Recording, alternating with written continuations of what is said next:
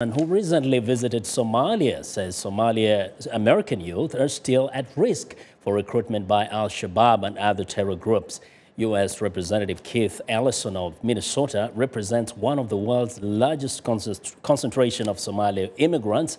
Uh, many remember the case of Shirwa Ahmed, a college student from Minneapolis who blew himself up in Somalia in 2009 and one of uh, five bombings attributed to Al-Shabaab. Uh, the group is also suspected in the uh, disappearance of more than a dozen Somali American youth. Mr. Ellison recently told VOA's Somali service the U.S. needs to do more for young people.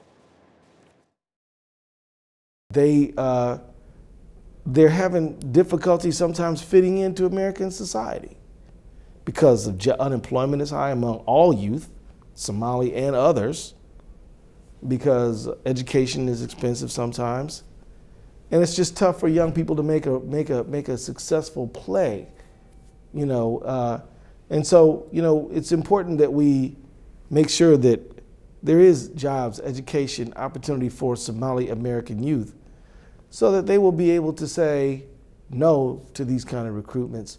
And also, there needs to be a place where we need to make sure that the FBI and American law enforcement are seen as allies, not you know, um, tough law enforcement, but really a place to find help for the Somali community. Congressman Ellison, who is Muslim, went to Somalia earlier this year and he met with Somali's president Hassan Sheikh Mohamoud.